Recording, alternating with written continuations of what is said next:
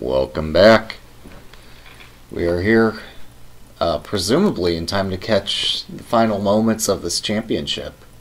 This is a best of 24 match um, against uh, opponent uh, Ferdinand Mosca developed an engine by the name of Imortal. Last year, Imortal 3.0 participated in the first Crazy House uh, variation variant associations championship tournament. Um, and last year I submitted uh, the multivariant stockfish engine. Um, as kind of a last minute submission, we had uh, Fabian Fichter and I had hustled to make that possible last year. Um, once we figured out that Stockfish was indeed capable of playing Crazy House without too many changes, we hustled to um, try to make it as strong as possible, make a very good entry. Had to change our submission a number of times because it just kept improving. Um, and I think a large factor, other than Fabian's skill, and my own skill. A large factor was the fact that we're dealing with the Stockfish uh, repository, the Stockfish code base, which is just immaculately organized and documented. It makes it very easy for anybody to make code changes and test them out and see if they improve or not. Um,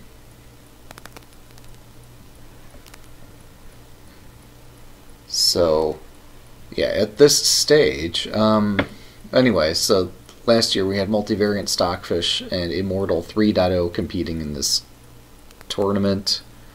This year there was a candidates phase where all the candidates were welcome to play uh, against each other, and the winner of the candidates phase, of course, was the runner-up for last year's event, Imortal 3.0, now replaced by Imortal 4.0, Again, authored by Ferdinand Mosca.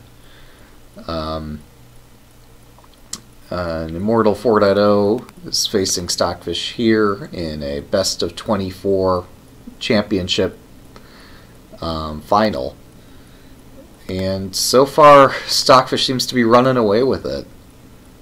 And very impressively, uh, Stockfish just seems to avoid getting mated by the narrowest of margins. Um, my understanding is that Imortal is a closed source proprietary engine um, developed with a lot of attention and care. For a very long time, it was at the top of the scene in terms of, um, or atop the rating lists. Well, in the sense there, if there was a rating list, um, Mosca here himself put together the rating list to help keep track of all the strongest Crazy House engines. Um, but also um, has given a lot of time and attention to his own proprietary engine. It is amazingly, it is stronger than all the other open source engines, which, or I should say, all the open source engines other than Stockfish, which that's like an incredible accomplishment for a single developer to have outshone the entire community like that. Um, yeah, I'm I'm very impressed as Mosca is here that um, the live broadcast uh, is working beautifully on Lichess. It took us forever to figure out how to do it. Um, even with ample assistance. It's just a challenging thing to be able to relay multiple games and lots of information all at the same time. Um, but Mosca here was very uh, gracious in helping me set up this relay. Uh, I'm very glad he was able to do so because that gives us the chance to look through the games as they're going on live. Even if I wasn't um, fully able to offer commentary throughout the entire match. I'd kind of hoped to do so. Unfortunately, we had some glitches yesterday. I wasn't able to comment on uh, the candidates phase as games were in progress. Um, it's still cool that we were able to see some of those games, though, and get a sense of what was to come uh, today here. And then today we get to see all the Crazy House games live. Sorry I wasn't able to uh, commentate on all those on my stream here because uh, honestly it started at 1.30 a.m. and some people do sleep at these times but I was able to at least get the stream up and running follow a couple of these games um, and now I'm finally waking up here still not yet sunrise but that's okay um, and yeah we're watching and witnessing um, some very interesting Crazy House games.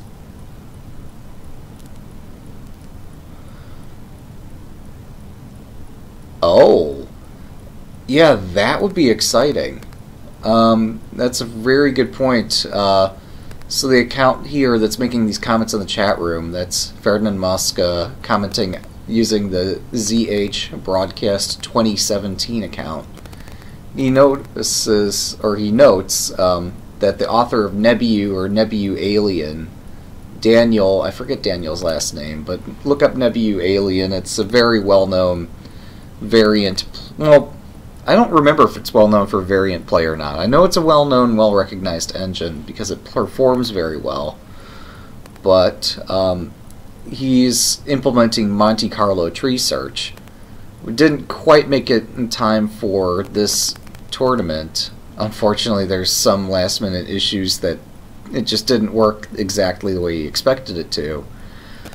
But um, yeah, it'd be great to see if uh, that could improve for next year. Uh, if it's an open source software, I don't know if it is or not. Or if I can get a binary, I'd be glad to run some matches on my machine and relay them onto the site. Um, how much do I think it made from last year to now? I could actually look that up, I think. Because sometime in the last year we did um, start, we did implement, in fact I think it was before we had this Crazy House implementation at all, we had set up a Fishtest uh, test server that could keep track of regressions um, as well as improvements. And so we could measure the ELO gain that we had. I think it was hundreds of points. I don't remember how many hundreds, but we did gain significantly in ELO. Um, thanks to Vincent. I'm going to butcher his last name. I Unfortunately, I do not know how to pronounce it. Um, I'm going to say Lejeune, but that's not correct. Uh, I don't have the name in front of me, but Vin Vin or Vincent has been commenting throughout the last year um, when Stockfish does some moves that are particularly appalling. And uh, I've taken a look at it, and uh, through several iterations of this, um, we found uh, isolated some bugs that were coded into Stockfish um, not upstream Stockfish, but our own Crazy House implementation didn't have everything just perfect.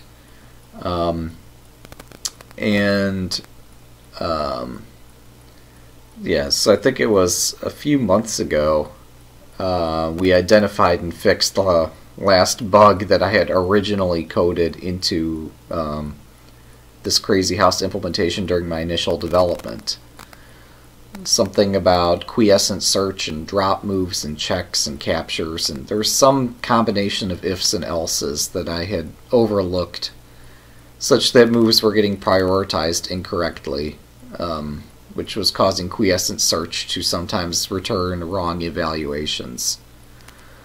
Um, how do we measure the increase in ELO? Uh, so we do play matches. Um, like we'll set up a match of a hundred or a thousand or I forget how many games between um, stable releases. So every time um, the Lichess developer Niklas uh, Fiekas, if I'm pronouncing that right, um, every time Niklas does a build of Stockfish for Lichess, uh, we go regression that tests that build against um, our previous stable release. Um, I've asked, and I'm very grateful that Niklas handles these stable builds because development of this Stockfish, this variant engine, is challenging enough. Uh, it, it was quite a responsibility to be the developer, tester, um, maintainer, and person doing the releases, and I just couldn't handle all of that. So I'm glad Niklas uh, stepped up and was glad to um, help with the uh, stable builds and getting them deployed to Lichess. So it's not just some abstract theoretical project that I do on my own, but it's something Lichess can benefit from too. Um,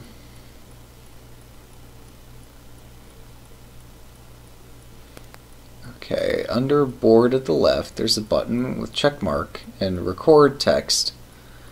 Right, so he's referring to um, this record. Uh, I'm not entirely sure what this is for. It says to write changes to the server. Um, uh, actually, um, uh, if I remember right, um, uh, changes are always published to the server. If I remember right.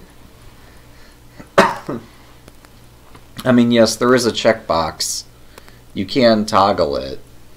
Um, but I think all your changes are written to the server regardless, and it's possible that if you toggle the checkbox that other people might not be able to see those changes or something, but um, yeah, I'm not entirely familiar, but I think that that's correct. So what I've heard um, from Ferdinand here is that Stockfish has a 12-0 lead in this match. This is a best of 24 match. And, well, I think we might be looking at the final moments of this. After which I can go back up, um, back and look at all the moves of all these games.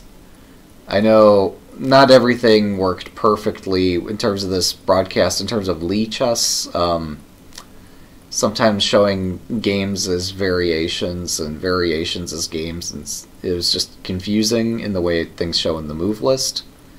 But in terms of what actually showed on the board, it was very functional. It was excellent. It's very good to have it. Um, so I guess I could go back through the move lists of these games and analyze uh, what occurred in each game. And even though the variations to calculate are like far, far over my head, except for this last game where I actually found that whole um, sacrifice the queen for the rook and then fork. Um, well, basically the last 10 moves or so here. I, I did find a good part of that combination. Um, but I did not find most of the moves in most of these games. Alright, I believe that's game number 13. Wow. What a match. What a match. Uh, so let's take a look. Uh, I did, toward the end here, try to find a game where Stockfish was having a difficult time. Because, um, we'll say this one had a non-standard start position, right? We had a weird opening sequence to help set up this position. This is kind of like a Crazy House 960 game, except there aren't any castling rights because both players moved their rooks already. Um, but yeah, this is interesting stuff. Um, I don't know. I'd have to get a second opinion on how castling works with dropped rooks. Alright, Thanks for running this match. Uh, This is a very excellent match um, and tournament. Uh, yeah. Um, yeah, very much appreciate um, having these interesting contests. Um, so, yeah, my point was that because this is a Crazy House 960 game, um, a lot of... Whoops, didn't mean to hit that. Um, very many pieces are not in their standard positions. Stockfish is not exactly acclimated to this and seems to be having a bit of a challenge out of the opening here. I don't know if that's through the fault of the 960 position itself or just Stockfish being very confused as to what's going on, but eventually Stockfish comes up with this weird c5 idea.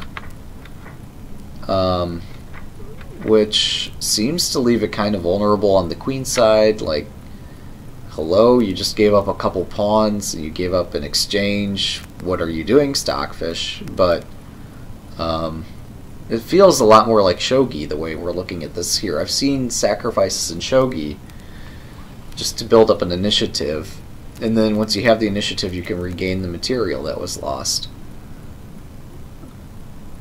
Okay, Alright, so December is busy for Ferdinand. Um, and so next year he'll probably just move the match up uh, the calendar up into October. So stay tuned about 10 months from now when we might uh, see a match around that time. Or a tournament around that time. Um, so yeah, this is a very interesting position or interesting game that we just watched. I picked this among all the games because I thought there was a good chance uh, Stockfish is in a lot of trouble here, um, but it's somehow narrowly avoided. Um, I don't know how, but like this seems really strong. Having a queen in hand is pretty strong with all this stuff loose, but it was not. Um, this wasn't enough for white to win. Um, uh, let's see, in the live PGN, sometimes there are variations inserted. Um, I think that the variations are due to Lichess broadcast being in beta.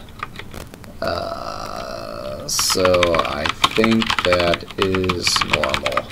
Um, so yeah, sometimes when things didn't relay exactly right, uh, I think that's just the fault of the Lichess broadcasting system.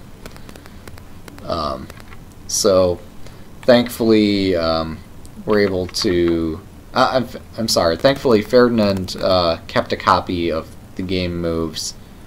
Or if not, we could always regenerate them, um, play some more games.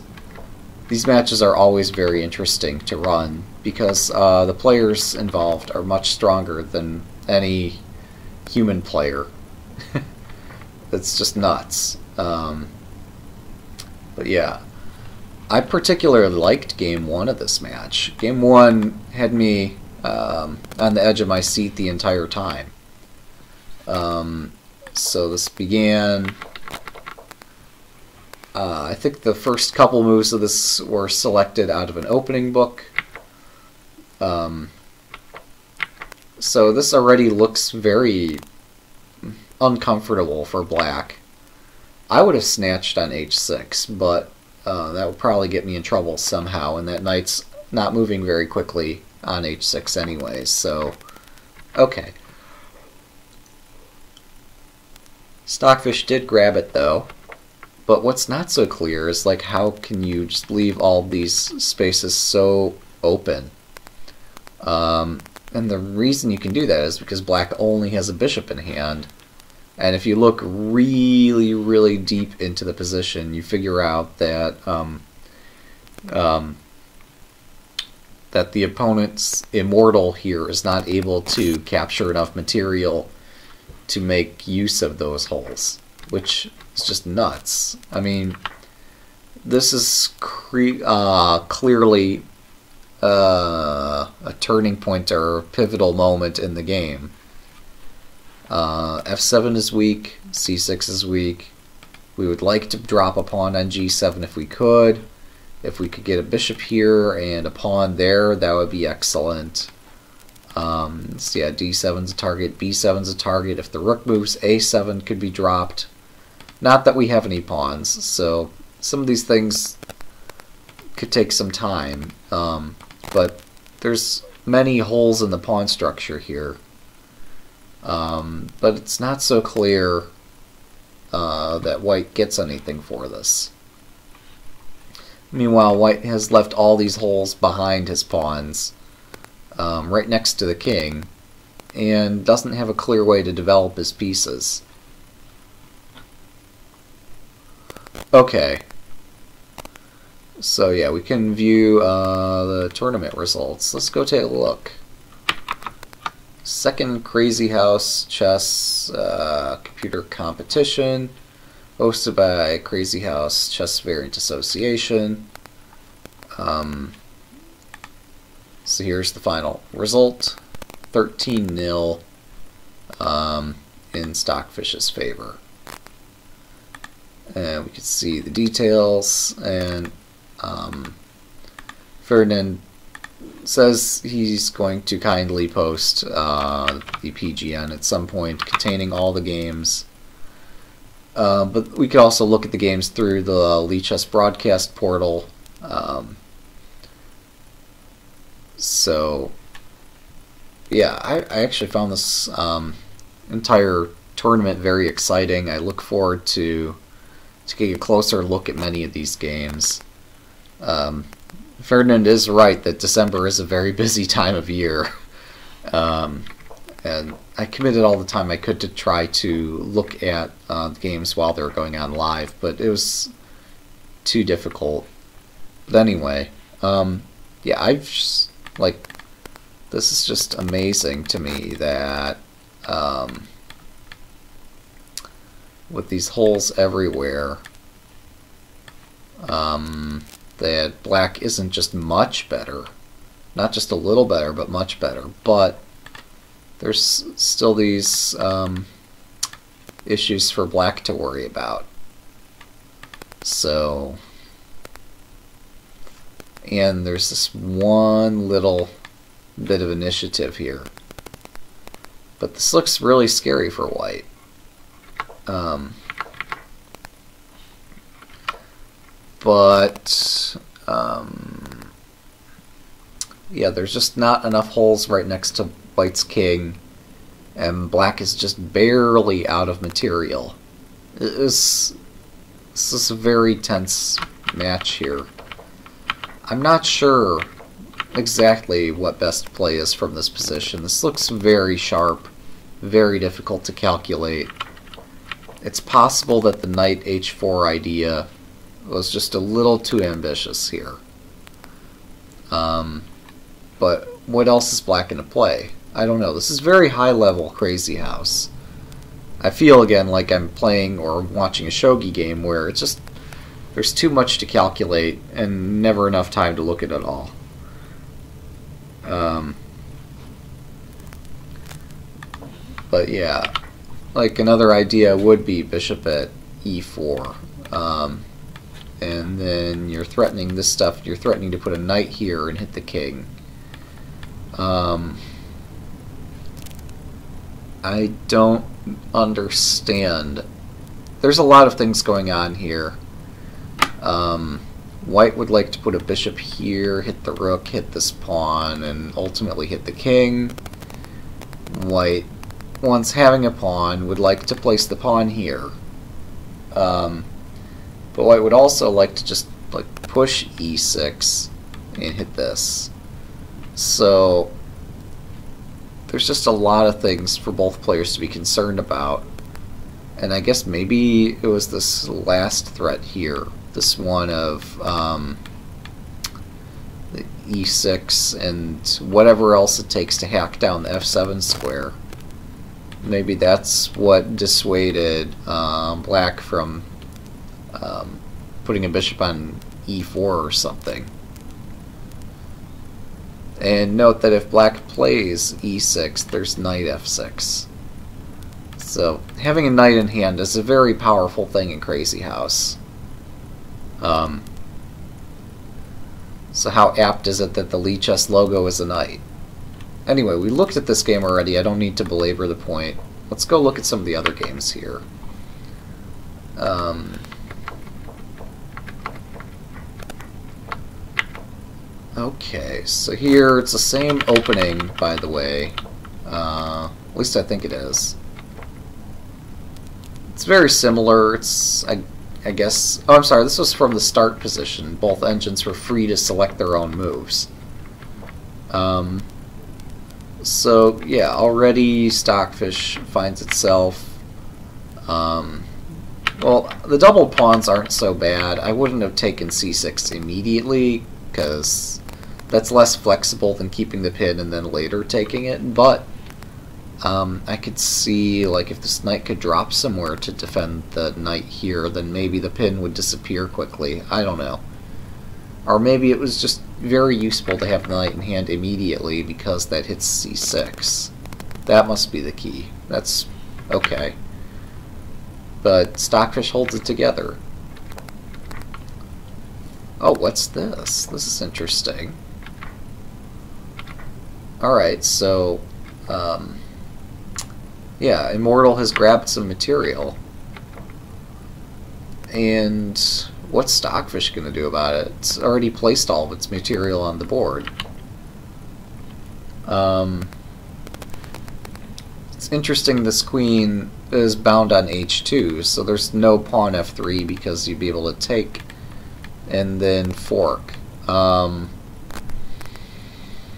that's crazy. You don't see that every day. Um, but also, suppose we didn't do any of that. Suppose we did uh, knight takes bishop. Well, now Stockfish has all four knights in hand, which can be quite a bit of... Well, in fact, and then we're threatening knight of 3 anyway, even if white castles. So, that's a difficult position. Um, so white opts to give up a little material, sacrifice in exchange, but Stockfish doesn't even take it. Um, okay, that's over my head. Why would you not just take the rook? I guess the knight in hand is just far too powerful. You can't allow white to take it. It's better to threaten uh, this bishop on e5 than to immediately take the rook. Hey, welcome. Just doing a little post-mortem of this tournament here. Um, so, what's Stockfish doing here? I wonder.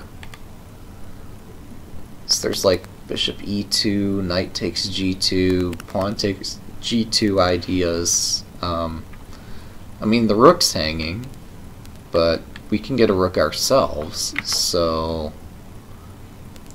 Okay, white retreats. And, like, Stockfish's got everything covered on this area of the board. Um, this is impressive. Like, all these squares are covered. There's no nothing that black can land, or white can land in that area. Um, like this is the one weak spot is g4, but everything else is amply defended. I mean, what are the odds that if you just randomly throw pieces on a board, they'll defend everything? I mean, I guess h5 is also open, but even that's defended. We're hitting this, and yeah, that's just nuts. Okay, so black can exchange material and still has everything covered over here. And then launches an attack. And then does... Does black even have mating material in hand? How can you just hang your queen like that? Um, well, no, I guess... the threat is knight e4 check, king e1, knight e2 check, pawn takes, and then knight c2 mate. But you only have one knight in hand. You don't have three knights in hand. So what's the real idea here? What's the point of this queen sack? Is it that we really want this rook in hand? Is that what's going on? Well, I guess um, white did not take the queen. I mean, I get that a rook in hand can be very useful, but that's amazing. Okay, the entire um, PGN database can be downloaded. I think I'll download that and upload its results into a study on Lichess. Um, unless I could find a way to copy or export this particular broadcast as a study, and then we could look at that. Um, Alright, so I guess part of the point here was just to force white to blockade his own attack by placing this bishop in the way. And then we move our rook out of take. So, um, yeah, black just has an initiative here and went and ran with it and somehow won. How did that happen? Knight takes. We got this check. A lot of pieces get traded, but Oh, okay, at this point black does have knight d3, like placing the knight out of pocket onto d3 as a, a mating threat. Um, so white needs to vacate, um, or keep sacking material. Um, Alright, so yeah, the, now that the king has e2 as a flight square, this is relatively okay, except okay what gives? Rook at g2. I'd never find that move. Like, uh, you'd have to set me down in a tournament hall for like a day to try to even consider a move that puts the rook uh, on pre two different ways. Um,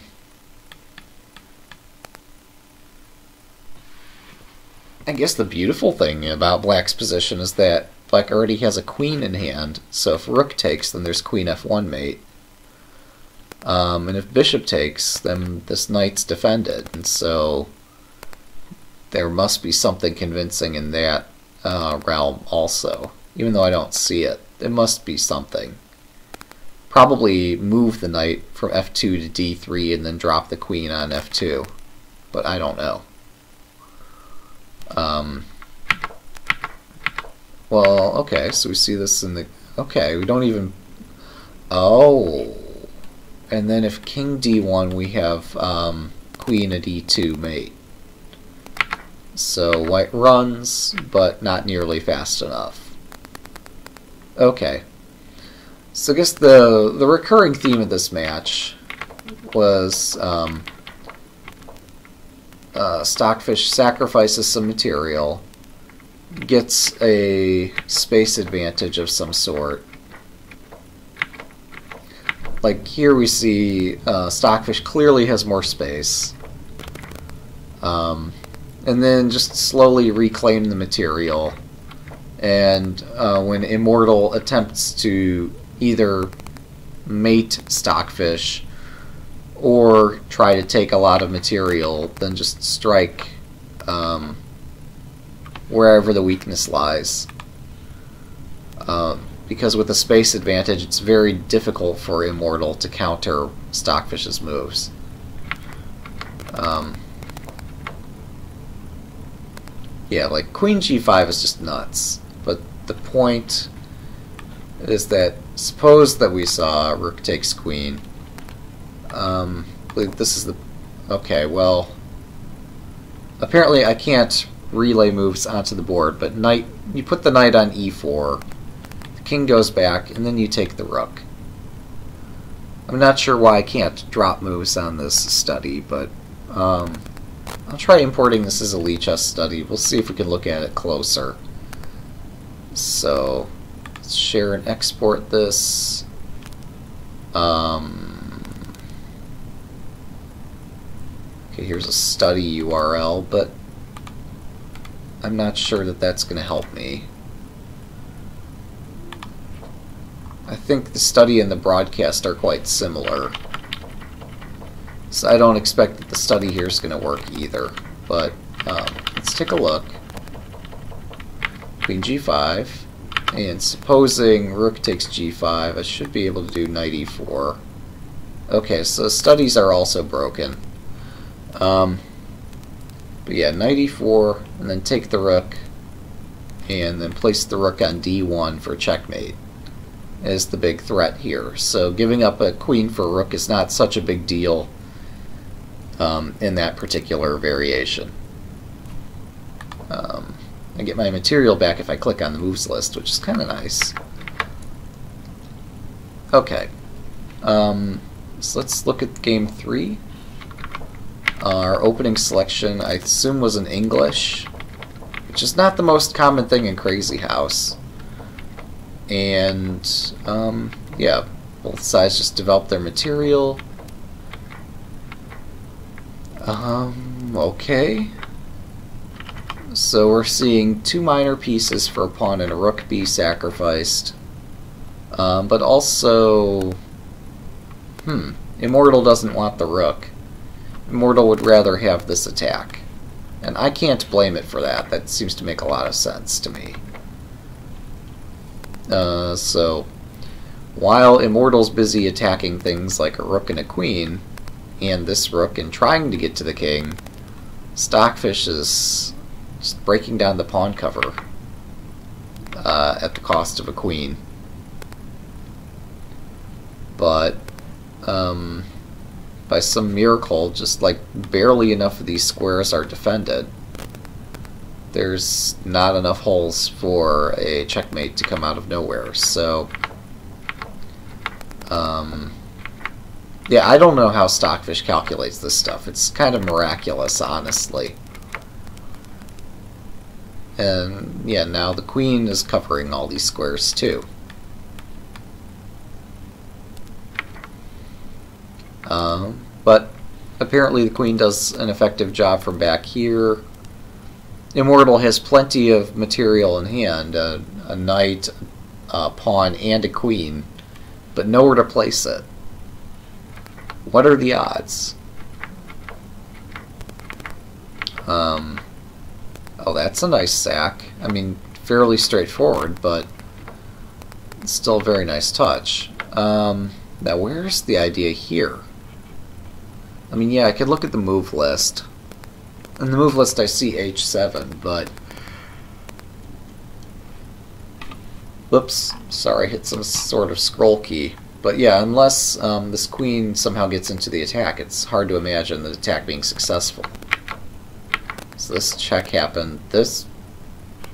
I mean, that does clear the rank if pawn takes. Um, and if king takes, the queen f5's mate in 1 and door number three is king g8 and then you drop uh, I'm sorry then you have queen f7 with king g8 so oh wow. Wow okay so yeah what I was looking at was just advance the pawn and then queen g7 so black would be able to drop all these pieces in between and this would eventually be made but um, because these pawns cover all the escape squares and this covers h8. Um, yeah. Alright, so I guess I'd encourage everybody to go take a look at these um, games.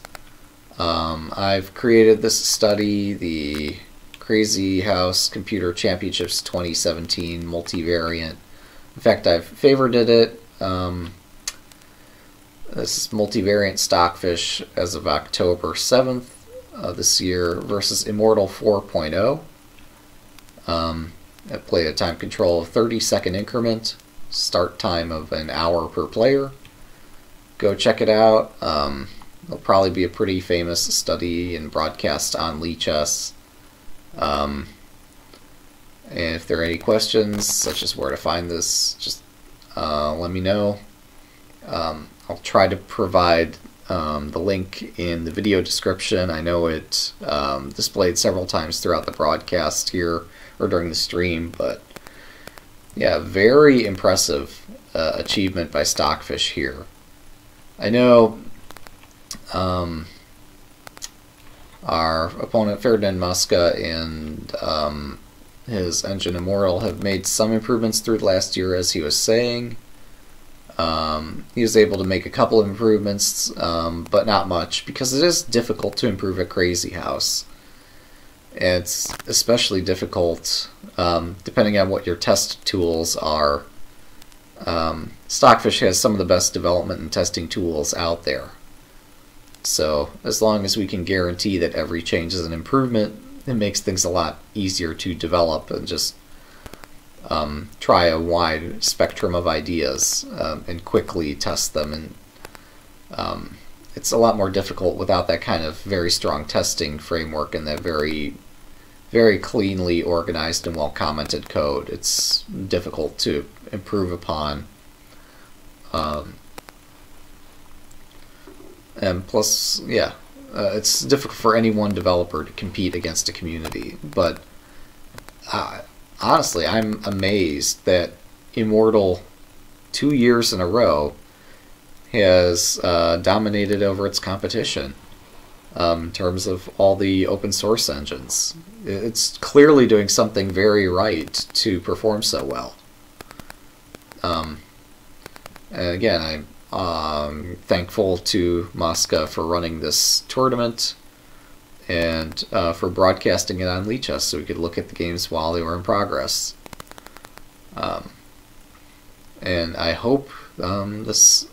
Um, I mean, I'm not trying to force anybody to do anything they don't want to do or such, but I hope that these engine engine matches, tournaments, and such um, find a better home on Lichess um, than on Fixer elsewhere.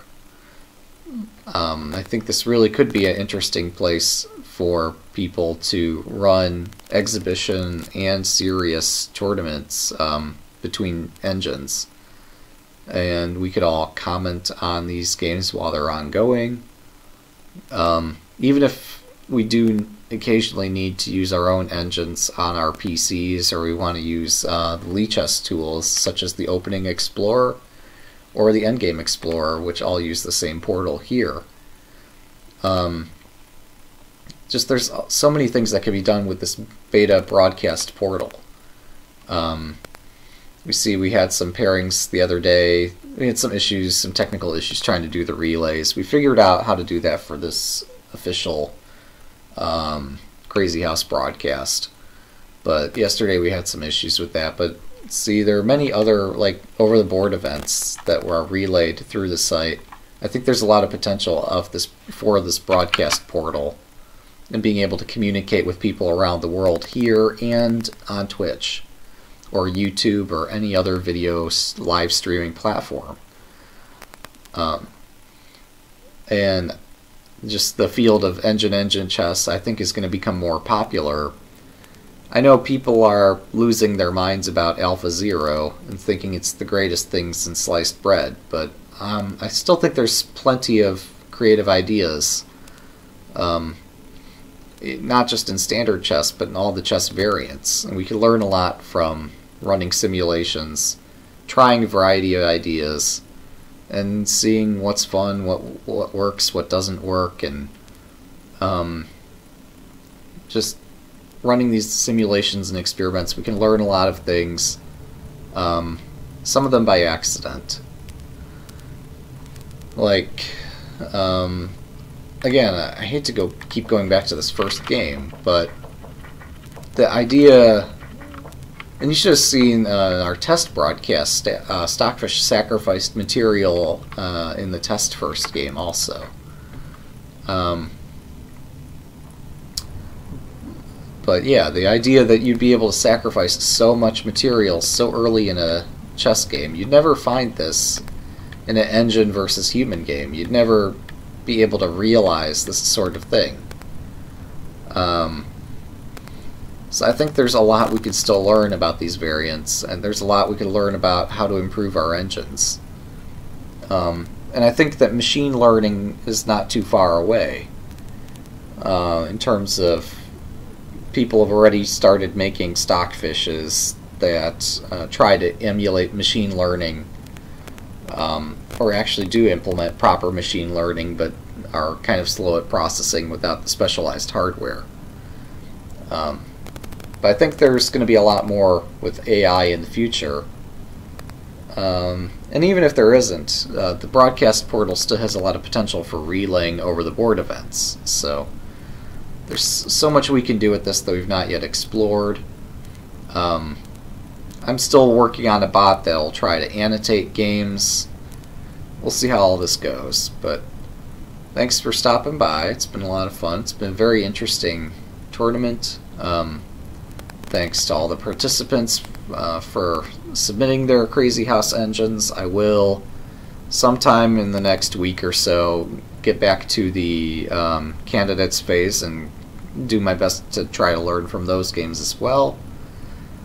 Um, feel free to check out uh, the PGN file as advertised here. I'm not sure if that's a permanent link, but I'll try to. In fact, I've already created a Lichess study containing the contents of that PGN. Um, so at some point, I'll clean that up and make sure it matches up with the exact contents of the PGN file. But um, yeah, it's been quite a match, quite a tournament, quite a show. Uh, yeah, thanks for watching and um, we'll see you next time. Take care.